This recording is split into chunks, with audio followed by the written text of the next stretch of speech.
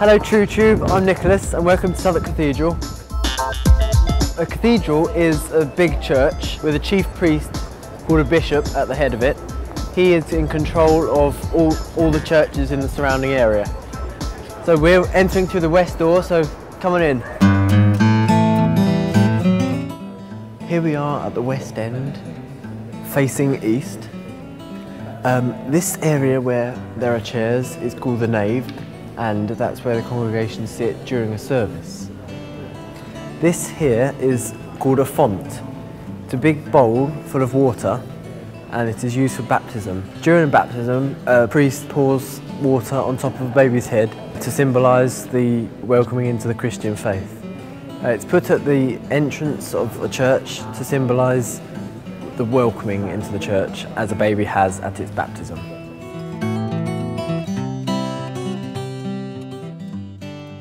As I said, this is the nave.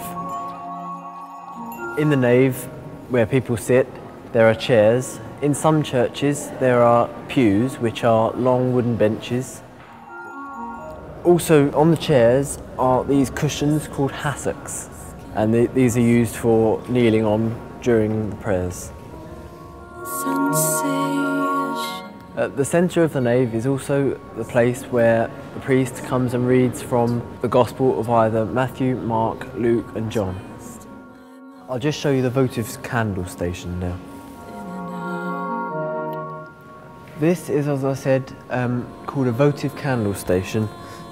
Therefore, these are votive candles. A votive candle symbolises a prayer and people light a votive candle if they want to say a prayer for someone who's sick or someone they're worried about.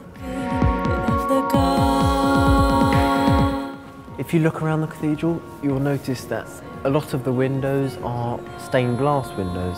These windows portray images and scenes from saints or the Bible or important people from the history of this cathedral.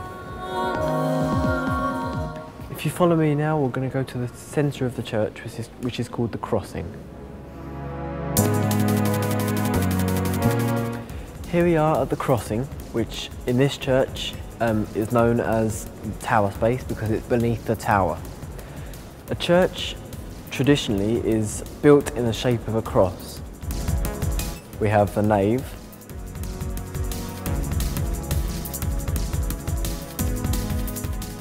we have the chancel, and we have the two transepts, the north and the south.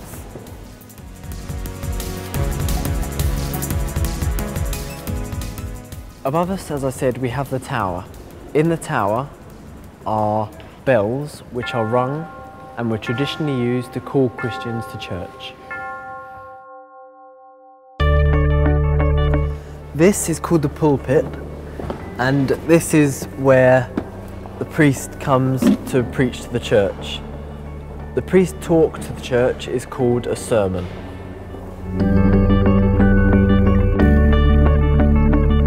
Here, the east end of the church is called the chancel. In these seats and these seats is where the priests sit.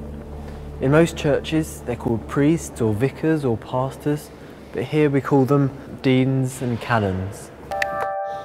This part of the chancel is called the choir because it's where the choir sits.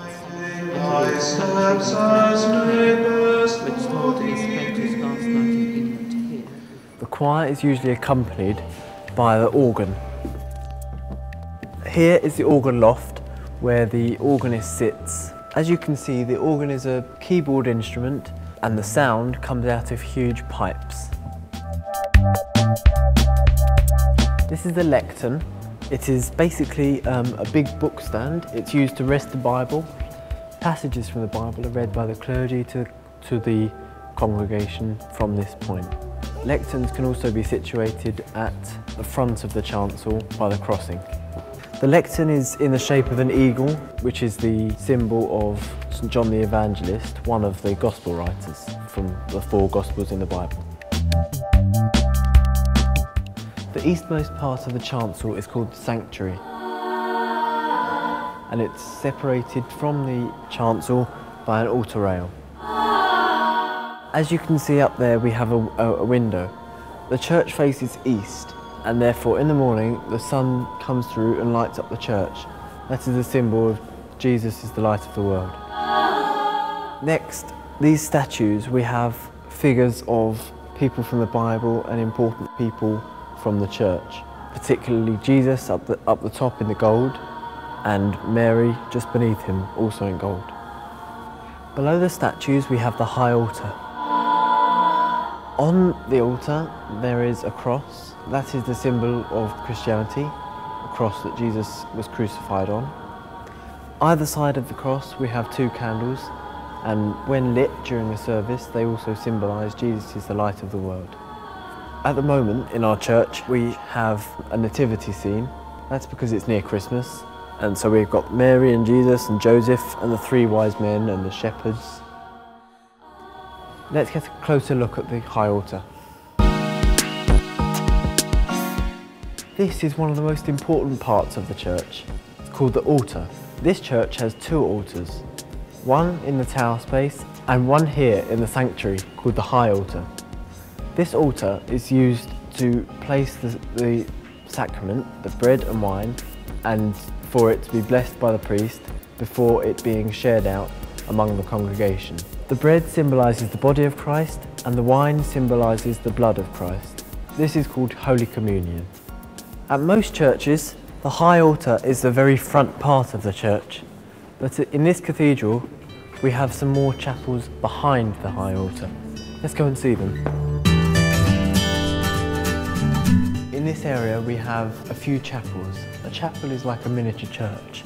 As you can see, each chapel has got its own altar and it is a space for private prayer. Now we'll go to the south transept.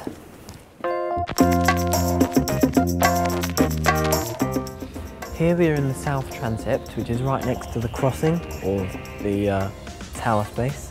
And then just beyond the, the tower space is the north transept. Transept can be used for extra seating space, as the north is, or for exhibitions like we have on at the moment. This south transept is also home to the organ pipes. As you may have noticed from walking around the church, there are various memorials dotted around the church. Um, this is a particularly impressive one um, of a poet laureate from the 15th century. This is actually a tomb.